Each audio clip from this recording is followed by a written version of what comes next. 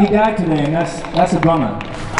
But we, you know, what we don't do is we we shouldn't just dwell on the, the fact that he's dead, but we should celebrate the fact that he was alive. Woo! So let's let's think about that for a second.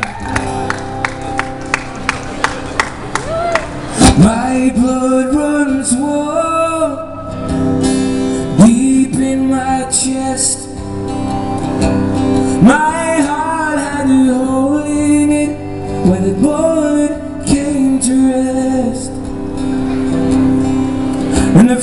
feels cold against my face. If I'm leaving my world right now, well, there's something I've got to say. Don't